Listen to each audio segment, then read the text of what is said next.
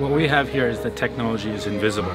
The point is that the teaching and the learning comes front and center and the technology is in the background. And what I mean by that is the clever boards are very easy to use. Uh, we, a teacher can turn it on and immediately use it, or they can turn it off when they don't want to use it. It's, it's a very simple technology.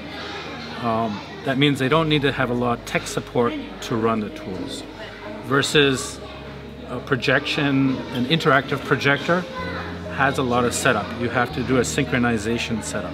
That's not the case with the Cleverboard. So that's an example of being invisible technology. The technology is in the background.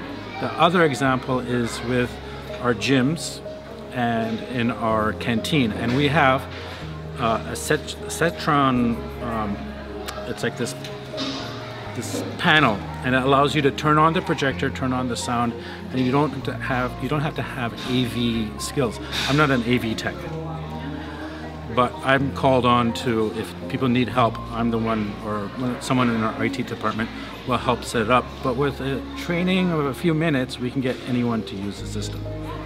Um, and so that's the game changer.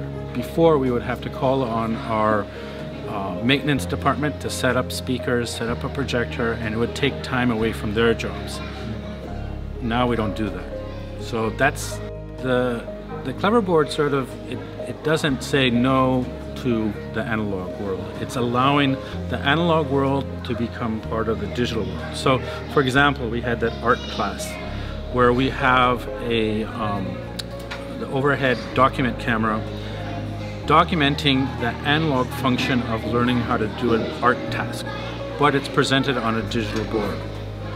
Or we'll have um, marker boards on the side, so if a teacher is not 100% comfortable with using the clever board, they can use the marker board. There's, there's no rules saying that you have to use one technology over the other. There's the flexibility of using both. I think over time what you'll see is people will see the benefit of the technology and maybe they'll migrate, but there's no pressure to push people in that direction.